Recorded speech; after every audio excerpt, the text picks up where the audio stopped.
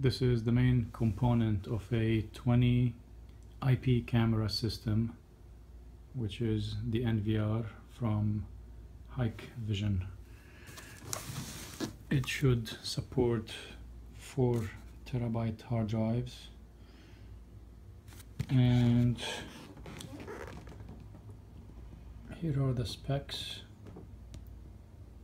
full HD 8 hard drives at 4 terabytes each. And this is the model number DS9632NI-ST this is the unboxed NVR it is pretty heavy even without the hard drives in there. Two side fans you have your video out audio in VGA out HDMI out USB two LAN ports your alarm out eSATA and power supply. And here's the model number again.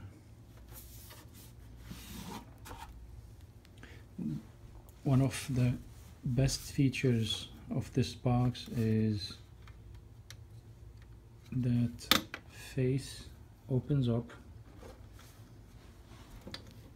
to get quick access to the SATA ports. You have eight of them. And I'll be installing two 4 terabytes purple western digital hard drives that box came with a lock. I mean a key for the lock for the front face and remote control batteries power cords SATA cables.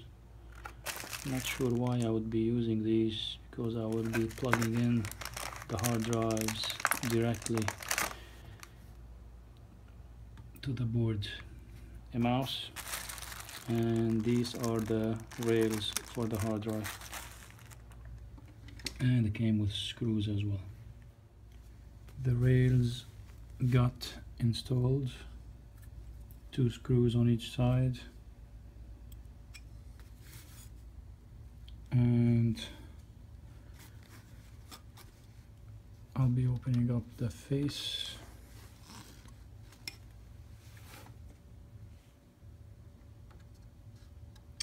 HD 1 and 2 on the left side.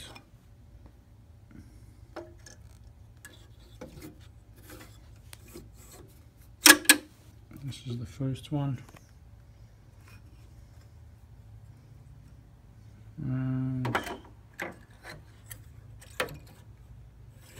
the second one.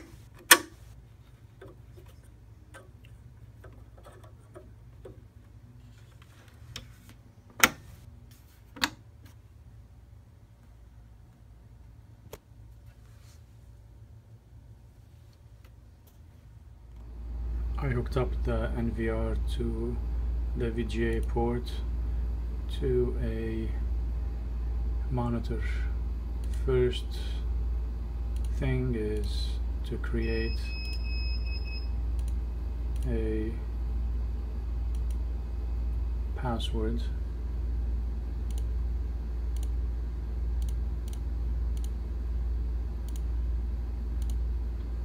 That uh, beeping noise you are hearing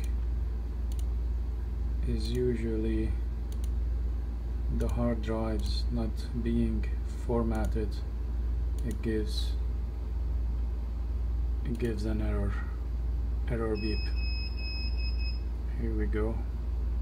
So after the password formatting the hard drives.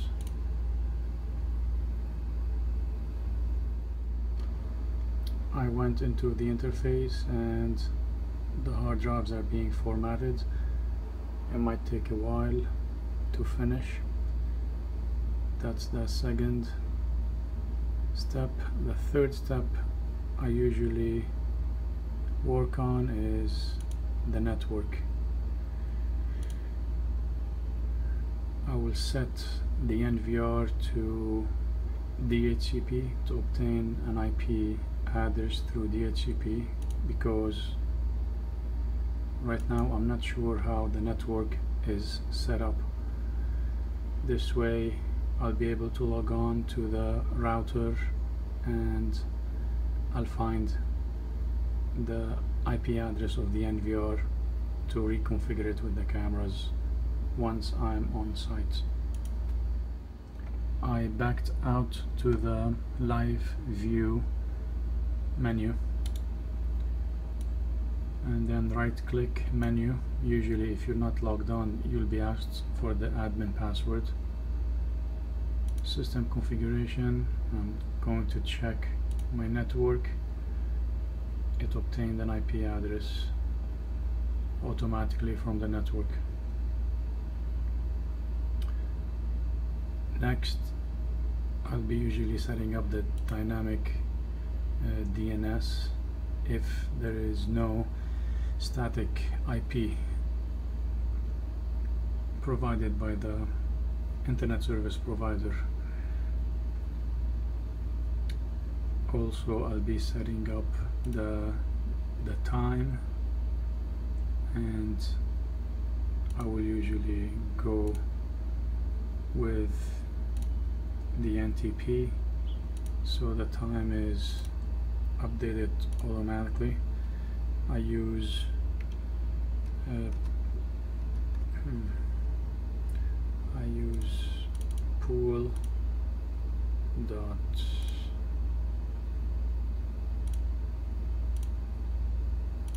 NTP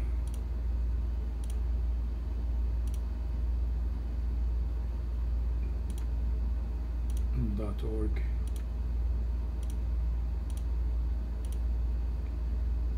Apply. And we'll see how this will work. Right now it's 936 supposed to be 535 we'll give it some time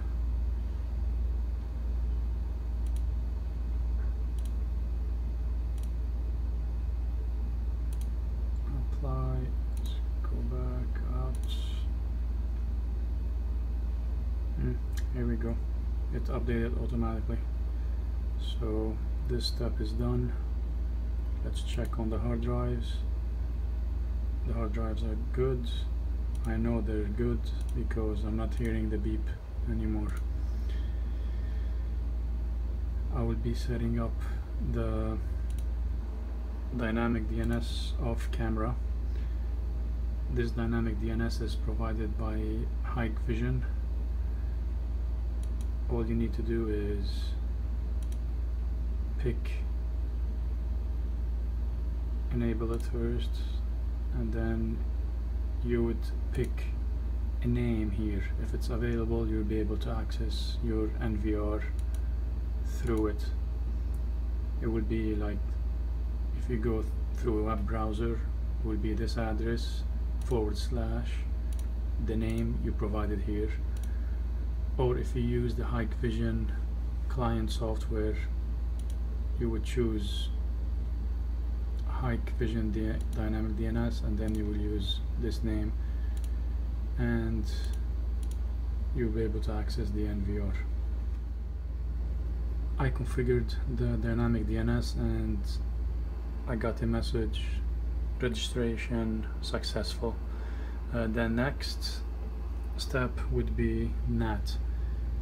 You will need to open up a port, usually HTTP port to the outside of the network.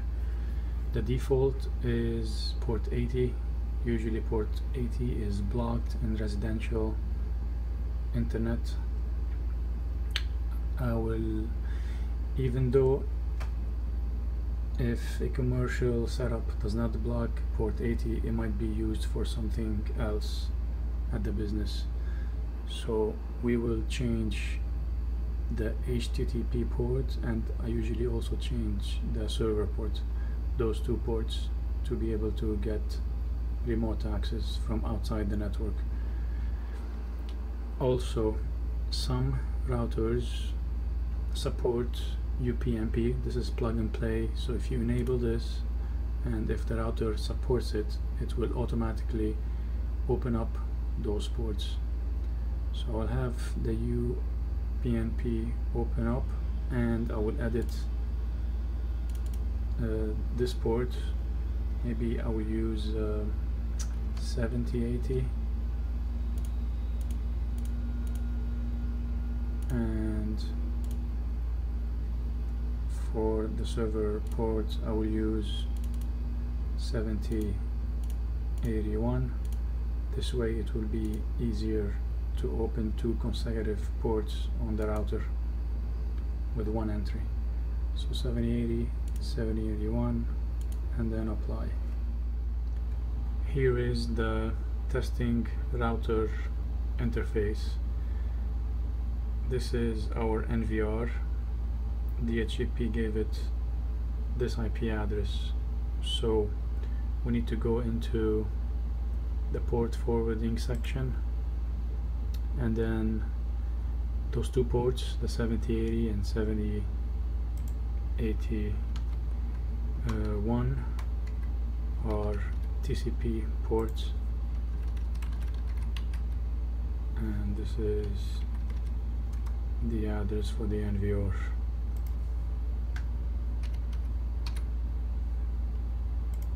add then save it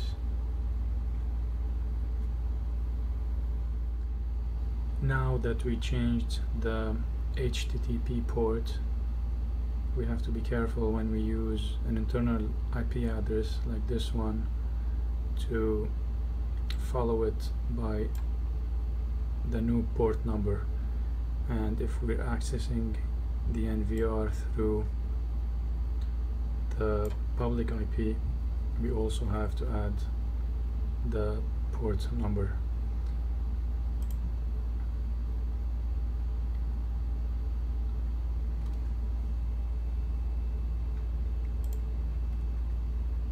first thing I would check would be after we got the NVR on the network and all is running well hard drives are good I would check the firmware to see if this is the latest software the NVR has.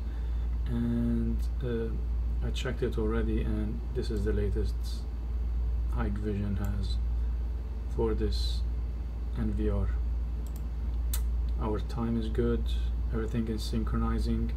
I was able to access the DVR from outside the network through the dynamic DNS I set up. This machine is ready to go and uh, next will be the wiring and installing the cameras 20 cameras.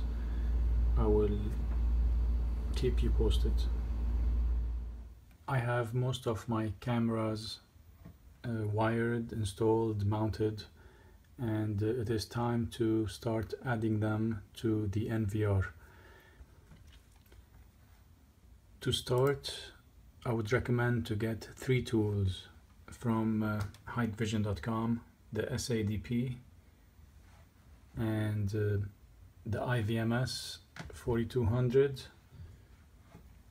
and the web browser to log on directly through the web interface. I left all my cameras uh, IP addresses they will default to 192.168.1.64 the camera does not come with a password at least those the Hikvision uh, American market ones.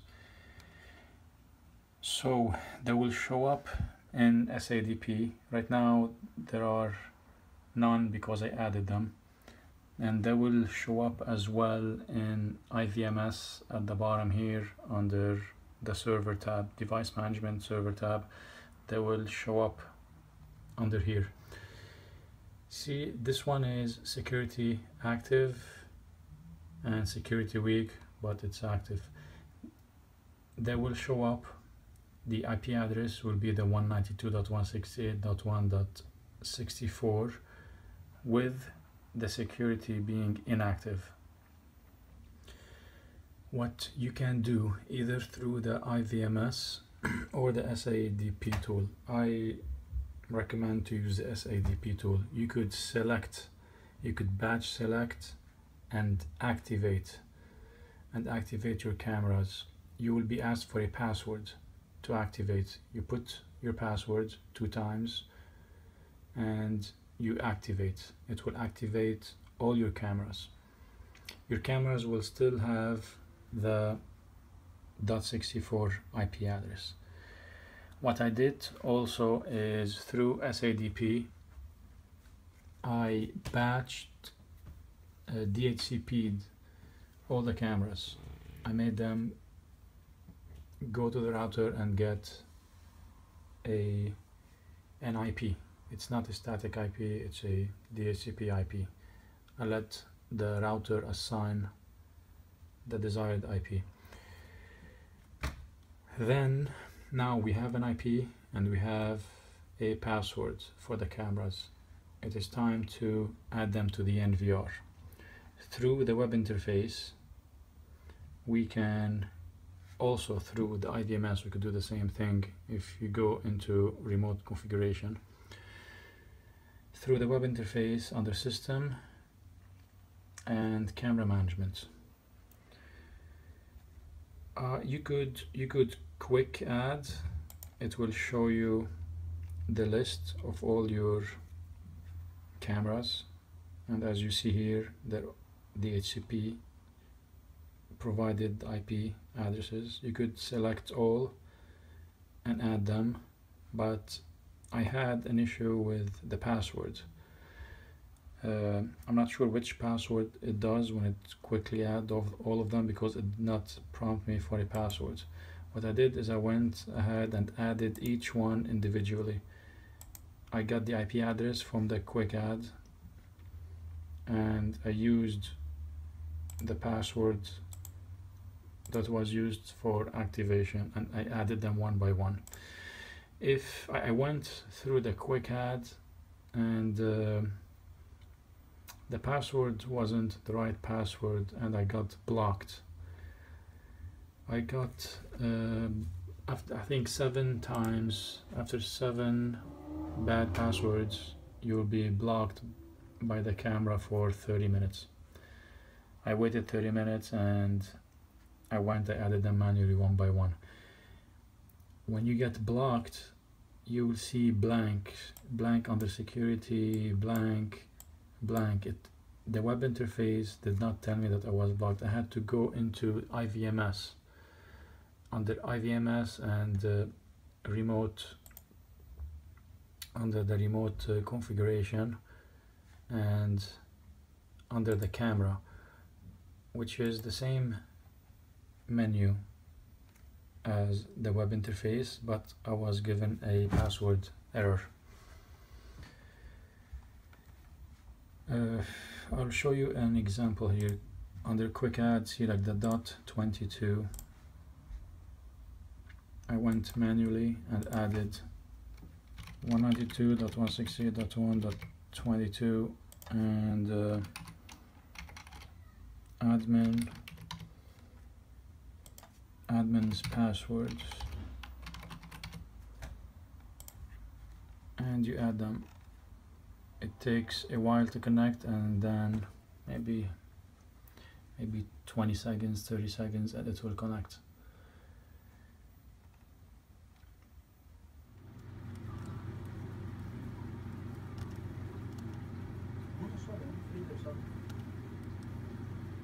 é o que está em tá lote. Então, John Pirro que não tem nem problema, né? ele põe dentro todo, sem problema nenhum. Eu não tenho telefone. Então.